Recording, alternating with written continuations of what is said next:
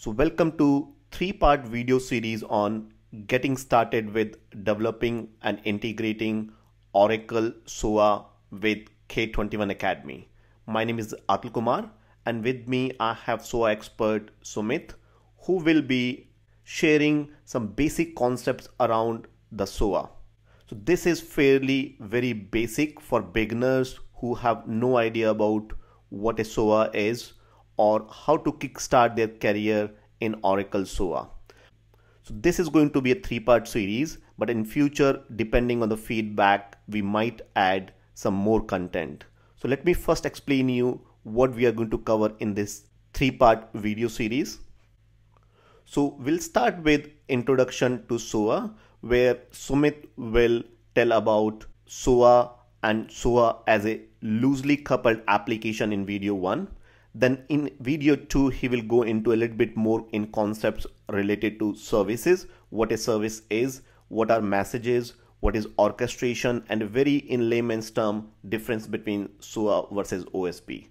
Then in the third video, we'll be wrapping it up with what exactly is a web service in SOA, brief description about SOAP and REST-based web services, and finally we'll tell about our training program so that you can take your these learning into the next level by learning SOA development.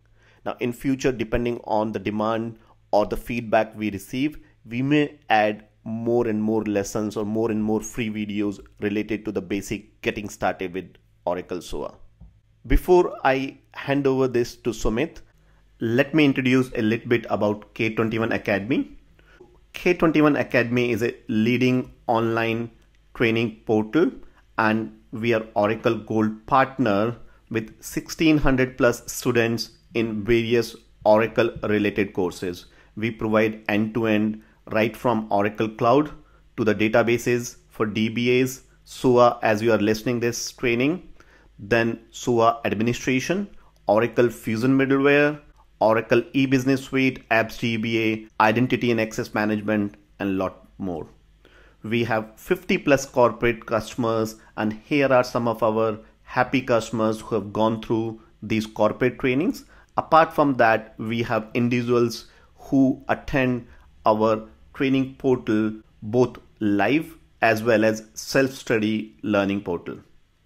Now i won't hold up too much. Let me quickly explain about me. Who am i? And about sumit. And then i'll hand it over to sumit. I'm atul kumar I'm an Oracle ace since year 2006 and I have 16 plus years of experience and Oracle certified consultant on Fusion middleware, identity and access management, apps DBA, SOA, and now started learning on cloud as well. I'm author of two books. I blog on online apps DBA with 1 million views in year 2016 and I'm founder of K21 Academy company specializing in SOA, Fusion Middleware, EBS, DBA, Cloud, and various other trainings. And I have with me Sumit, your instructor, who started his career as an Oracle SOA developer and worked with a lot of different companies on different integration. And now these days, he started sharing his knowledge on Oracle SOA. He has trained 200 plus IT consultants and an Oracle certified professional. Now I'll very quickly cover our training methodology, which we do in our paid program, and then I'll hand it over to Sumit. So we provide pre-recorded videos in advance before the live actual live session so that when you attend the session live session or live training program you know what kind of questions to ask we provide dedicated machine to practice also a whatsapp group for support unlimited retake for next one year and post session you also get lifetime access to the recordings on portal. Now if you are watching or listening this video somewhere else don't forget to register for our upcoming webinars. These are free webinars on k21academy.com forward slash webinar dash soa dash dev. Now with that i hand it over to sumit and thanks for listening getting started with developing and integrating oracle soa suite so let me introduce myself, guys. Uh, my name is uh, Sumit Kumar. Okay, I have been working in Oracle SOA since last eight years. So I started my career as a SOA developer, and since then I have been working on different integrations with different MNCs. And uh, four to five years back, I started, you know, sharing my knowledge on SOA. I work with different corporates to train the people on Oracle SOA suite. I also work on OSB and BPM, but my main expertise is Oracle SOA suite. So we'll take it. I'll take you along with about Oracle SOA suite. So what I'll do is uh, we'll walk through slides little late. At first, I would try to explain you using a notepad. So guys, you know, this SOA is a keyword or a buzz in the market, okay, which is right now a hot cake in the market and we have different versions of SOA. There are a lot of things which are running in the market about SOA. So let's understand everything one by one. First of all, this SOA stands for Service Oriented Architecture. So at first, let me tell you, this is an architecture. A lot of people confuses it with a technology. So SOA is not a technology.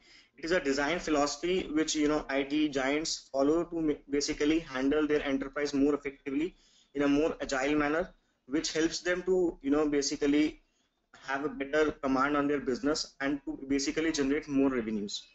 So baseline of this architecture depends on two entities. One is so if I say SOA, the SOA would be basically dependent on two entities. One is services and the other is messages and we have, we also need to understand that there have been a lot of technologies before SOA. Uh, there have been a lot of approaches before SOA. What made SOA so famous in the market or so popular in the market that most of the IT companies are looking forward to implement SOA into their existing IT infrastructure. So we have to see from that perspective also. So if I have to define SOA in a layman language, I will say SOA is a middleware solution which makes two or more systems or applications to talk to each other. Okay, and we all know like middleware is something which is nothing but a software too. Middleware itself is a software which makes two or more systems to talk to each other in a more agile manner.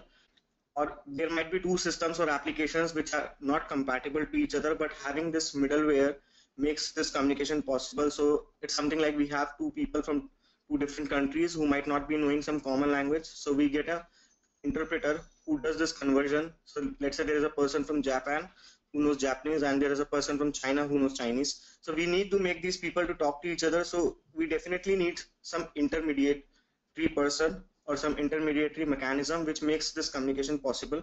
And same thing goes, you know, well in our IT market as well. So when we have different applications for an enterprise, we somehow need to integrate these applications. We want the data to flow from one application to another, or some at times we need to, you know, basically collect the data from different applications for doing our analysis to take some business decisions. So this integration will be a very integral and important part of any IT company or maybe uh, or any business.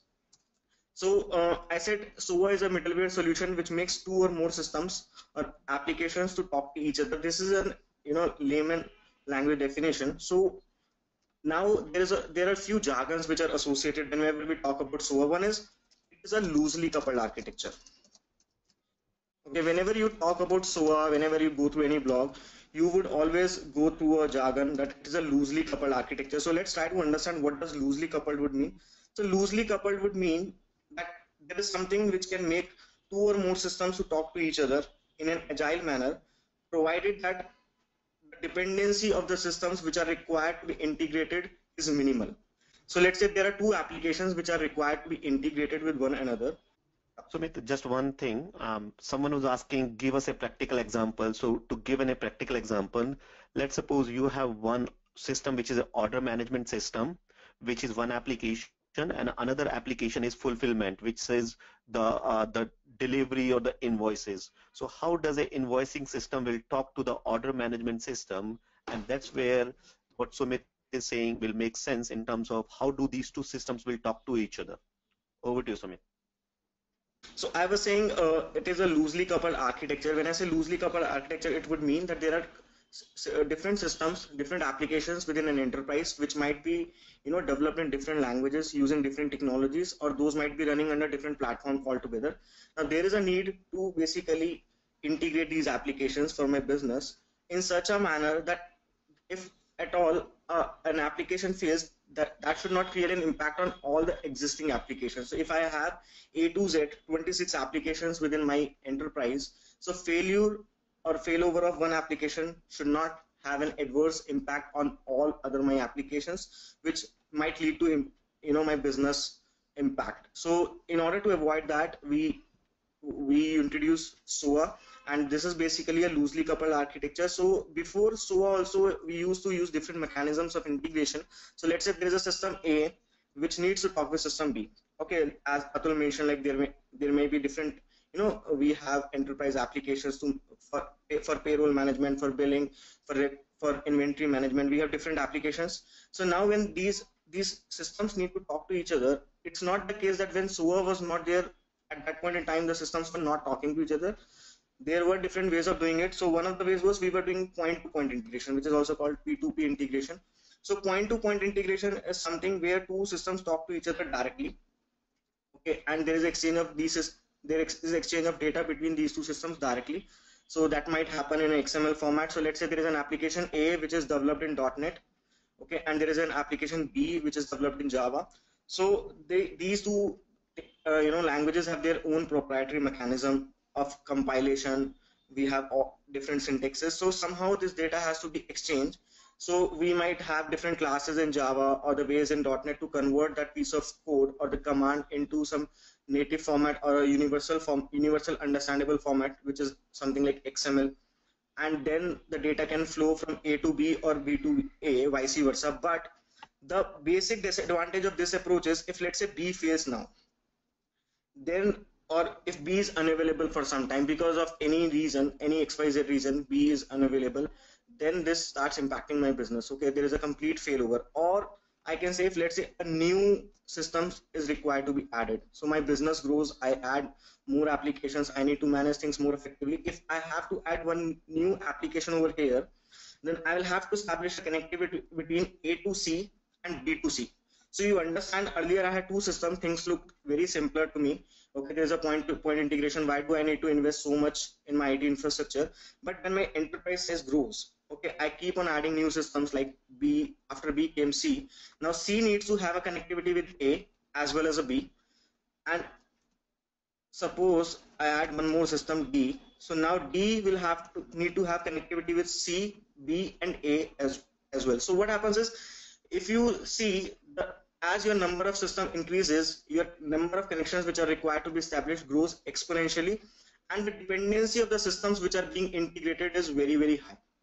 So this point-to-point -point integration methodology looks good when number of systems which are required to be integrated are minimal. But as you grow, grow as your business grow and you have more applications to manage your enterprise, you will find that you know this basically leads to a major drawback which basically starts impacting your business. So this is not considered to be an agile way of basically integrating your application. So when i see the similar you know implementation using soa what happens is as i mentioned soa is a middleware solution which makes two or more systems to talk to each other.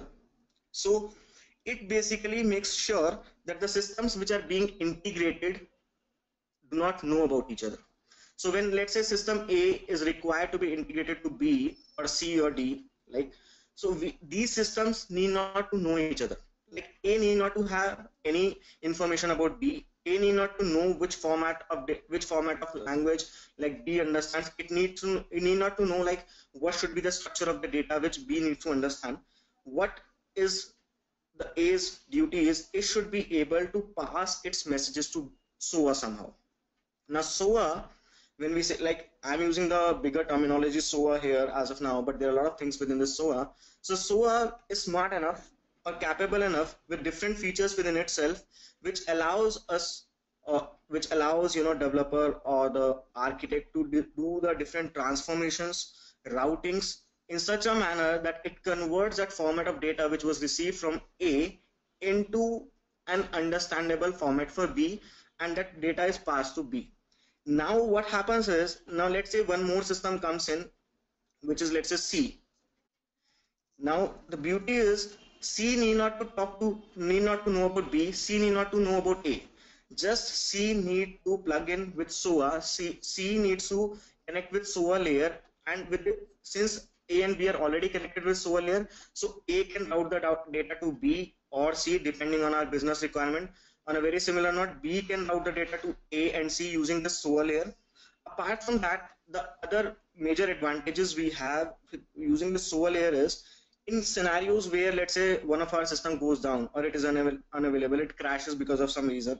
Okay, then within SOA we have got different features or we have fault handling mechanisms which allows us to do a auto retry such that let's say some request comes from A which is required to be routed to B but due to some reason uh, system B was unavailable at that point in time so SOA is smart enough to you know store those requests with itself and can retry to push those requests to B once it is available so that A need not to submit those requests once again, which was difficult to achieve in your point-to-point -point integration. So basically this is, you know, the explanation of that loosely coupled architecture. When we say SOA is a loosely coupled architecture, it is making systems to, to talk to each other in a more agile manner such that, you know, systems which are being integrated are becoming independent of each other.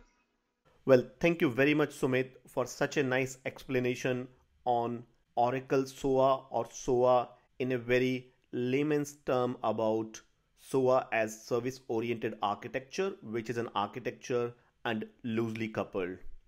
Now, this is part one of three part series in getting started with developing and integrating Oracle SOA. Now, if you like this video, go and leave your comment what more you want to hear about Oracle SOA, both in terms of development as well as administration.